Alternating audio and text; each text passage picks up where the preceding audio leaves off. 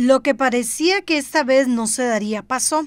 Una nueva apelación al proceso para comenzar con el proyecto de bono comunal en tierra prometida en Pérez Celedón. El lunes 21 de diciembre de 2020, la Junta Directiva del Banco Hipotecario la Vivienda aprobó la contratación de la empresa Quebradores del Sur en el proceso de licitación abreviada. Sin embargo, la semana anterior se dio la apelación a este proceso. De acuerdo con el Bambi, en el proceso participaron tres empresas y se le adjudicó a Quebradores del Sur porque presentó la oferta con menor costo. Sin embargo, Grupo Condeco S.A. apeló esa contratación, argumentando que la empresa adjudicada presenta irregularidades en su oferta que la hacen inelegible, dentro de los cuales se incluyen aspectos relacionados con el IVA, estructura de costos y administración, por lo que tiene que ser valorado por la Contraloría General de la República como parte del análisis, la idoneidad y pertenencia de los argumentos que plantea la empresa.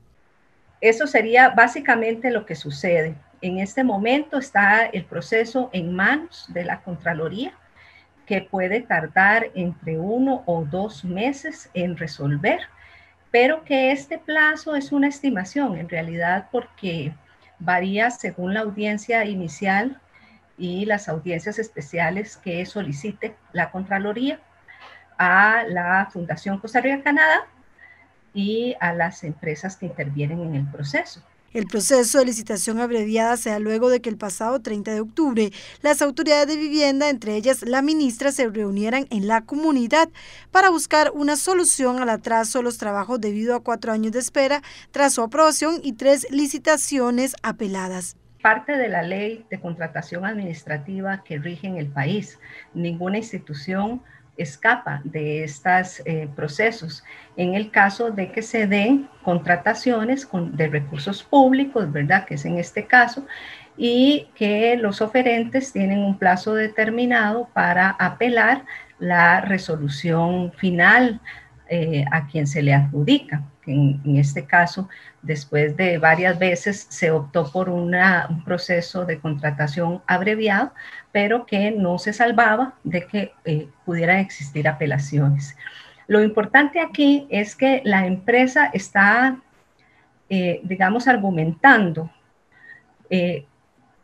aspectos de la oferta de Quebradores del Sur. Entonces, ahí es donde le tocará a la Contraloría analizar si eh, da lugar a esta apelación o no.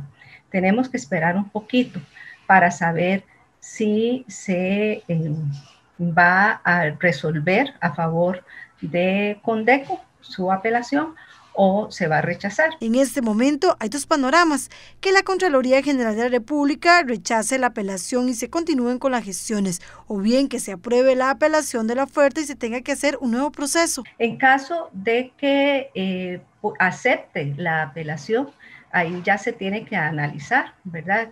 Eh, la, siguiente oferta de menor costo eh, que eh, que ofrezca, digamos, todas las condiciones que se pidieron para el concurso.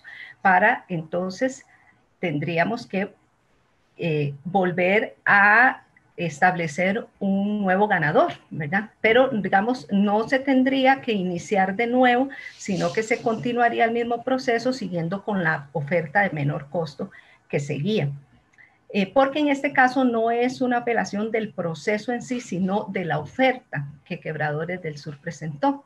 Esa es la, apelación que hace con el grupo Conteco.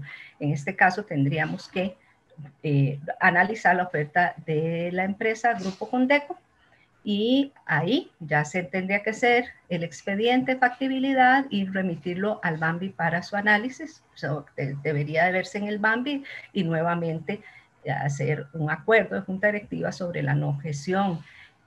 Esto en el caso de que la Contraloría acepte las eh, observaciones que el Grupo Conteco establece sobre la oferta de Quebradores del Sur. La aprobación del bono comunal fue anunciada en febrero de 2018 por 2.483 millones de colones y ahora debido a los atrasos será por 2.600 millones de colones. La Fundación Costa Rica Canadá es la entidad responsable de administrar los recursos y velar porque todas las obras se construyan de acuerdo con lo estipulado en los planos y con las normas de calidad vigentes. La intención es cambiar la vida de las familias que viven en esta comunidad con obras viales y demás. Pedirle a los habitantes de Tierra Prometida, que no pierdan las esperanzas. El Bambi está en la mayor disposición de hacer las obras, siempre y cuando nos lo permitan, ¿verdad? Se permita la contratación de una empresa que las haga. En realidad estos son procesos que escapan a la voluntad del Bambi. Si por el Bambi fuera, pues estaríamos haciendo las obras ya, o hace rato estarían más bien hechas, porque eh, nos interesa mucho, muchísimo que los habitantes de Tierra Prometida tengan eh, mejores condiciones en su entorno, que es el objetivo de este proyecto.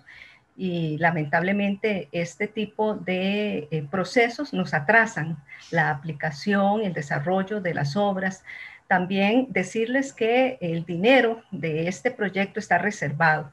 No es que se va a perder, no es que con los problemas eh, de presupuesto que puedan haber durante el 2000 eh, el 2021 puedan tener peligro esos, esos recursos, que no, al contrario, esos recursos están completamente comprometidos, asignados a este proyecto, que esperamos con toda la fe y la esperanza que este 2021 sea finalmente el año en que estrenen esas obras que tanto merecen los habitantes de Tierra Prometida.